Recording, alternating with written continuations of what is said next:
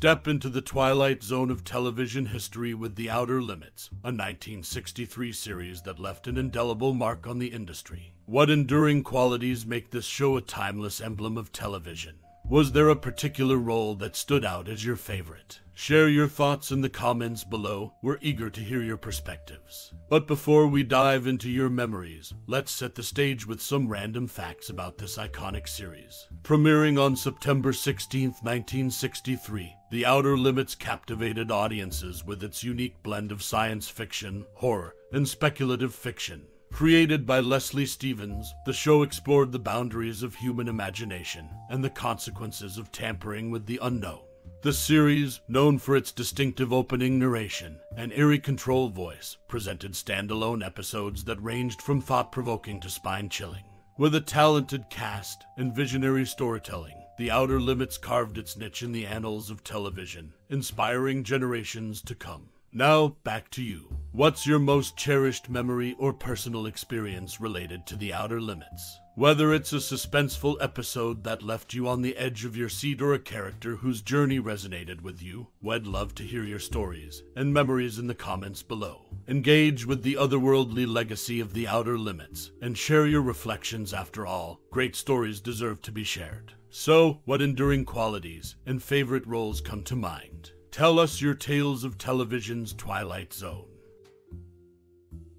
The Outer Limits, a classic TV series from 1963, holds intriguing behind the scenes stories. One notable instance is the first season finale, The Forms of Things Unknown. Originally intended as a pilot by series creator Joseph Stefano, it faced rejection from network executives. Undeterred, Stefano repurposed it into an episode for the series. Another noteworthy fact ties the series to modern music. The song We Control the Sound by W&W and Headhunterz features a reprise of the iconic opening narration. There is nothing wrong with your sound system. Do not attempt to adjust the volume. We're now control transmissions. In its concluding moments, The Outer Limits faced an unusual twist during its series finale. The Probe aired on January 16, 1965. A live announcer, breaking from the norm, spoke over the control voice's closing statement about returning next week at the same time. Instead, the announcer declared that the King family show would take the slot. These anecdotes showcase the creative journey and unexpected turns within the outer limits, adding layers to its legacy. As a groundbreaking series in the 1960s, this blend of rejected pilots, musical echoes, and on air surprises contributes to the unique narrative of the outer limits. Five episodes of the 1963 TV series The Outer Limits found a second life in the show's later years. Notably, I, Robot, A Feasibility Study, Nightmare, and The Inheritors, Part I and Part II were remade, each retaining the essence of the original plots. Interestingly, The Outer Limits, The Human Factor, and The Outer Limits, The Human Factor share only the title, having no connection beyond that. This recycling of episodes speaks to the enduring appeal and creativity of the outer limits. The decision to remake certain stories suggests a belief in their timeless and captivating nature. It also underscores the series' impact, as these narratives were deemed worthy of a contemporary retelling. The recycling of episodes wasn't the only crossroads of the outer limits with other iconic shows. Gene Roddenberry, the mastermind behind Star Trek, was a notable fan of the outer limits. Roddenberry's admiration went beyond mere appreciation. He frequently visited the set, incorporating elements like crew, cast, costumes, and props from the outer limits into the fabric of his own groundbreaking space exploration series. The collaboration between the outer limits and Star Trek adds an intriguing layer to the legacy of both shows. It showcases a camaraderie among creators and a shared belief in the imaginative power of science fiction. The impact of the outer limits wasn't confined to its own episodes. It rippled through the cosmos of television, influencing even the futuristic adventures of the Starship Enterprise. In the realm of narration, Vic Perrin, the voice behind the iconic opening and closing statements of the outer limits, revealed a fascinating tidbit. Despite recording almost all of his narrations in one or two studio sessions, Perrin admitted to having no idea about the episode's content. His ability to sound authoritative on unknown subjects became a humorous aspect of his contribution to the series, adding an unexpected layer to the creation of the show. These facets, the recycled episodes, the crossover with Star Trek, and Vic Perrin's unique narration process highlight the multifaceted impact of The Outer Limits. Beyond its standalone episodes, the series wove itself into the fabric of television history through collaboration, innovation, and a touch of narrative mystery. The Outer Limits, a sudden plunge in the shadows and a surprising turn of events. The television network ABC dealt a fatal blow to the 1963 TV series The Outer Limits by strategically shifting its time slot during the second season. Initially a hit, especially among younger viewers, the show faced a grim fate when it was moved from Monday nights to 7:30 p.m. on Saturdays. This ill-advised change not only placed it in an inappropriate time slot for its target audience, but also made it the lead in for The Lawrence Welk Show. Competing against the popular Jackie Gleason, American Scene magazine on CBS further compounded the issue. The consequence was clear halfway into the second season. The series was pulled due to dismal ratings. The abrupt decline in viewership serves as a stark example of a network's decision to sabotage a once popular show by placing it in an unsuitable schedule. The misguided move showcased the impact of strategic scheduling choices on the fate of a television series, leaving the outer limits in the shadows of cancellation.